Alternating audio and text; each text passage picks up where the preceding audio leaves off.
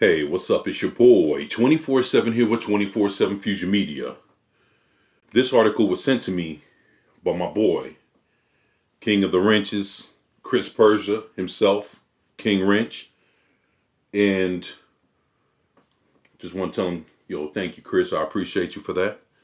But what he brought to my attention was from the Hollywood Reporter Marvel's Blade movie finds its writer in Watchmen Scribe exclusive.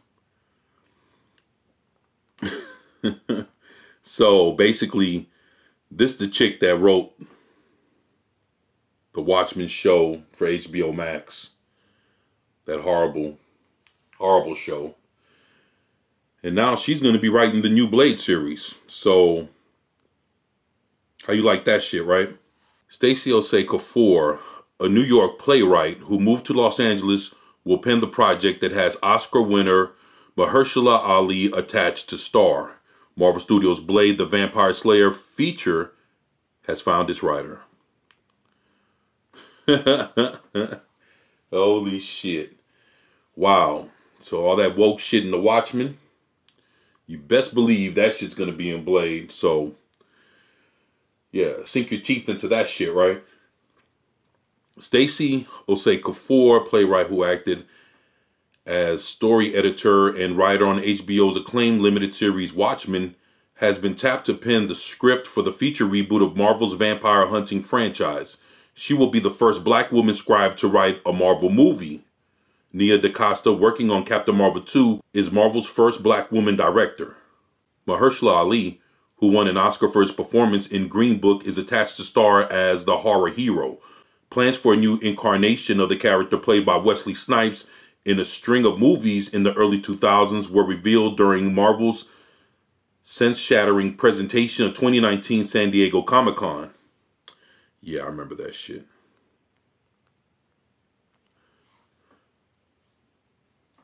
The studio has spent the last six months meeting with writers in what was described as a meticulous search with all directly involved. Only black writers were seriously considered. What? Wow, that's fucked up. You know, um, you know, that's interesting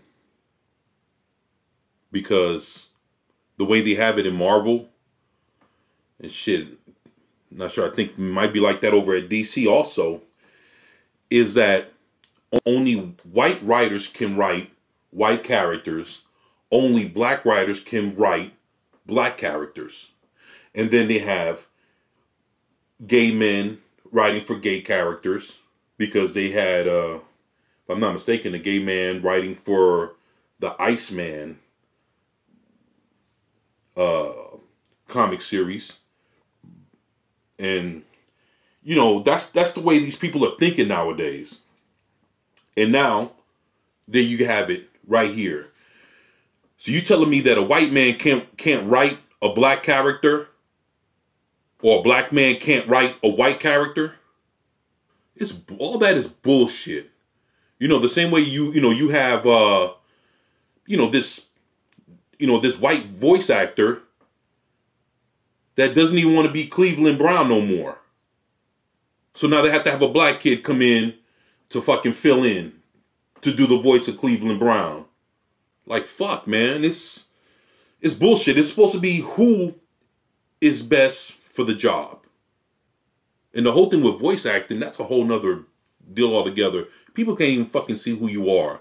All you're doing is voicing the character. That that makes even more pathetic. That's some bullshit. But that's how Hollywood is, and you've seen it right before your eyes with this article. Bunch of bullshit. So again, only black writers were seriously considered a reflection of Marvel's focus on diversity and making representation a key factor. Shit sounds racist, especially when tackling non-white characters. You know, people just got to understand, man. If, if you're good just writing a story, then you're just good writing a story. Doesn't matter if black, if the characters are black or white or Indian or, or Asian or European or it, you know, it doesn't matter. None of that shit matters. And I'll tell you, all black people can't write the best stories for black people. Doesn't give a fuck what they've been through. It's all about the storytelling. People are more worried about who's writing the story than the story itself. Man, this shit is so ass backwards, but this is the same kind of bullshit here.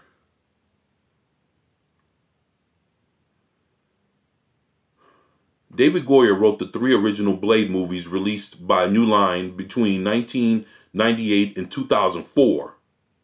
Okay, created as a supporting character by Marv Wolfman and Gene Colan, Blade first appeared in Tomb of Dracula number 10 in 1973, becoming a cult favorite.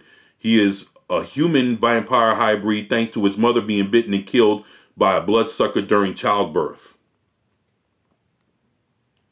Osei Kuffour earned an Emmy nomination for Outstanding Writing in a Comedy Series for her work in Hulu's Pen 15. I never even heard of that shit. But it was being part of the team, but it was but it was being part of the writing team on Watchmen, HBO's heady spin on Alan Moore, Dave Gibbons comic that got her noticed, as well as a WGA award win for Best New Series. Oh please. Nobody gives a fuck about that. She worked on Hunters, Amazon's blood-soaked limited series that saw Al Pacino and Logan Lerman as Nazi hunters in 1970s America, an HBO crime thriller run starring Domhnall Gleeson. Okay. Despite her seemingly rapid uh, ascent to Hollywood, Chicago-born Osei Kuffour spent years writing plays and poetry. She has a master's degree in the former from Hunter College in New York, but struggled to find work as a writer. Her jump from story editor and now a Marvel movie and breaking a barrier while doing so makes for quite a Cinderella story. Oh, please. All right, so what do y'all what do y'all think about this this bullshit? Um me just the fact uh, I don't care that she's a black woman. Doesn't care that you know she's a woman at all. None of that shit matters. Her credentials, what she wrote, what shows, all that, all that old extra shit. I don't care. I don't care about that. The fact that she's already done a superhero property as the Watchmen HBO Max TV show. We already seen what she can do. The shit was woke and it was trash. That's all. All that other shit doesn't even fucking matter. That she's the first to do this, to do that. So, can she write a good story? That's all I give a fuck about. And for what I've seen, nah, she can't. So now you're gonna take her wax story writing skills and putting that shit to blade. Now what? Get more of the same bullshit, but now with a, a different face and a different property? So now she just she goes from DC to fucking Marvel. wow. Okay. Well, there you have it. So get ready for some whack ass blade bullshit. Cause you know what? If you if you did the Watchmen like that, ain't no telling what you're gonna do with Blade. So, like I say, all I can do is go off of what we seen. And from what I seen, this motherfucker get two thumbs down. So that's my that's my opinion. I hear yours. Y'all let me know what y'all think about this shit in the comment section below. Did you like the Watchmen series? Are you looking forward to checking what she's gonna bring, you know, uh, those skills all, all the way to Blade? Are you looking forward to the Blade movie or series or whatever she's gonna do? Like I said, y'all let me know in the comment section below. Please share, like, and subscribe if you haven't already. It's your boy, 24-7 with 24-7 Fusion Media. And I'm out. Peace.